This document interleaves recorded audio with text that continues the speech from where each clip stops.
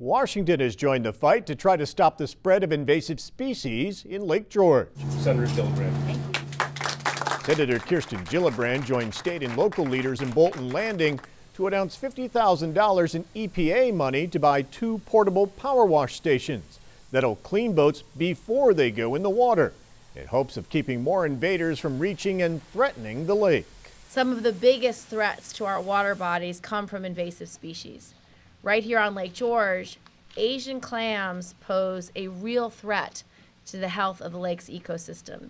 Zebra mussels, curly-leafed pondweed, Eurasian water milfoil, and the spiny water flea all threaten the economic vitality of this region. And when they get in, invasives can be an expensive challenge. Around Lake George, more than $1.5 million has been spent over the past three years just to tackle a few clusters of Asian clams. Lake groups say boat washing and inspection stations are the most effective way to guard against new invaders. What makes more sense than washing boats before you put them in the water?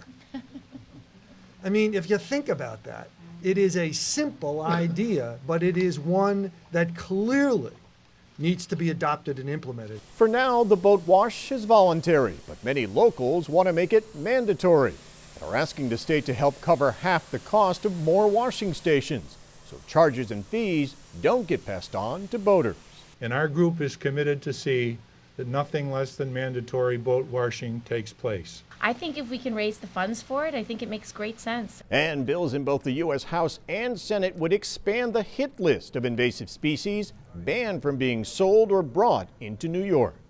If you'd like to learn more about the work of the scientists and lake groups tackling invasive species in Lake George, Mountain Lake PBS teamed up with Bright Blue Eco Media to produce a documentary on their efforts called Lake Defenders. You can watch it on our website at mountainlake.org.